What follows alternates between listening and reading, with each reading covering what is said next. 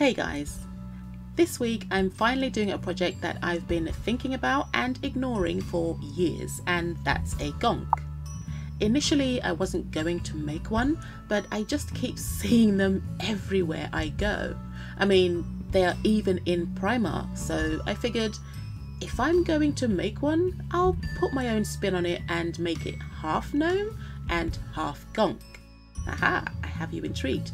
I guess that doesn't make sense now, but it will, pinky promise. Just bear with me. Anyway, let's get started.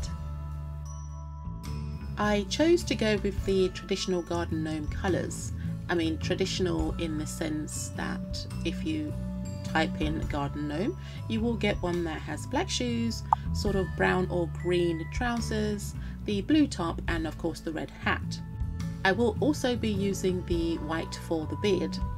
I'm mostly using the chenille yarn with some acrylic and as always I will leave a full list of all the materials I used in the description box below.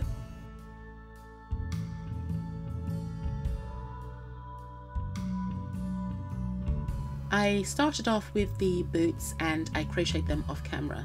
Since I'm using the chenille yarn, I decided it didn't make sense to make boots separately. So with this gnome, I just keep the shoes as they are and continued up the leg using the trouser colour. I then joined the two feet together and continued crocheting the lower half of the body before switching to the shirt colour.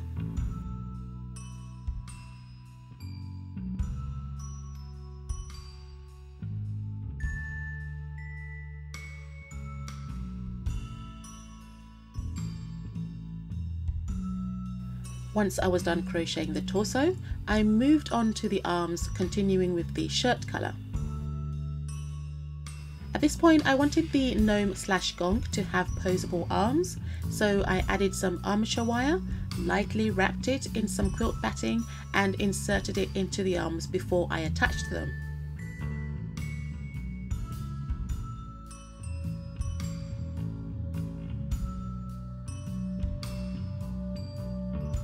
I did a few more rows on the body before stopping and stuffing the entire thing.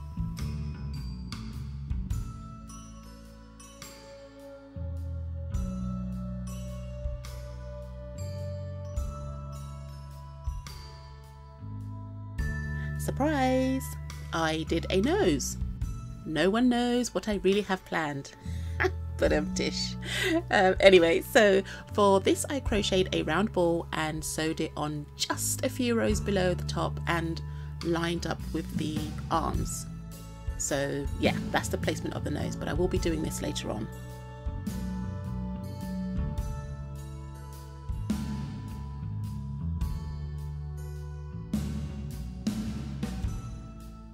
Moving on to another first facial hair I know, right? This video is just full of firsts. Okay, so there's two ways to make this beard. And the first one, well, I'm not going to show it because obviously I chose to go another route. But one way to do it is to um, imagine this skewer as the top line of the top of the amigurumi. So to make the beard I'm basically going to take these strips of yarn and then just string them up We're using a lark's head knot along the front. So obviously I'm doing it on the skewer but you can imagine it on the front of the amigurumi itself.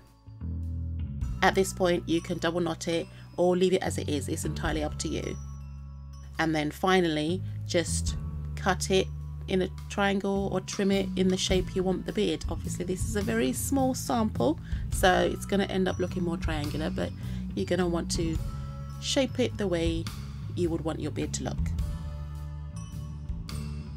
So as I mentioned I'm not going to be using this way.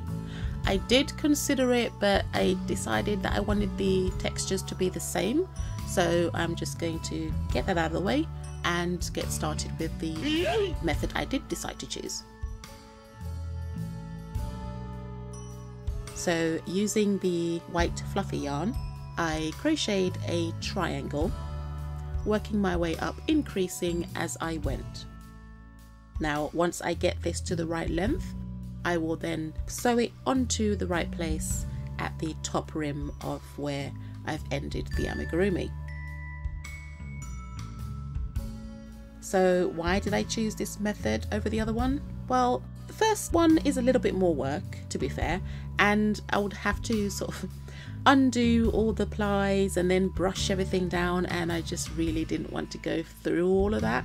I mean, it's a look, it renders a fluffier, more realistic beard, but I wanted this beard to be a bit more sculpted and like I mentioned earlier, just to stay within the same texture. So I wanted all the textures to be fairly similar. But you can do it the other way if you want a fluffier, more natural looking beard. I say natural, it'll be incredibly soft because it's yarn. It's brushed yarn.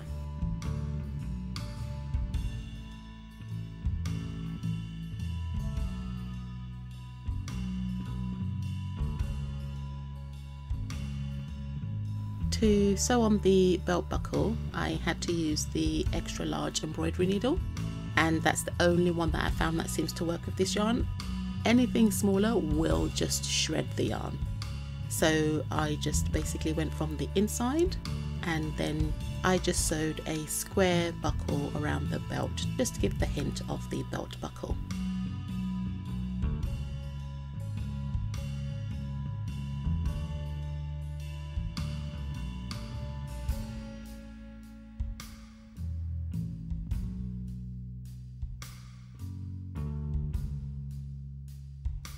So this is the part where it's going to be more gonk than gnome because there is no head on this thing really. I crocheted a longish hat using the red chenille yarn. I started out with a thin triangle and then slowly tapered it until the rim of the hat fit neatly across the brim of the body, but slightly overlapped to make it look like it's, you know, curled over and hiding most of the face. That's the look you're going for. So later on, I will also be stuffing the hat because there's no head, you know, so it has to have some structure inside and then sew it on later. So you'll be seeing that in the reveals.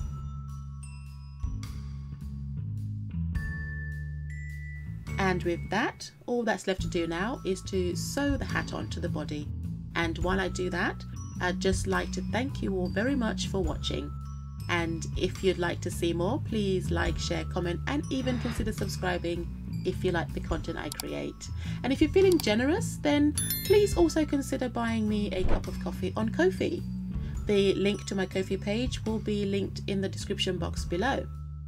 Don't forget to hit that bell button to be notified whenever I upload a new video. And now I'll leave you with the beauty shots and see you in the next one. Bye!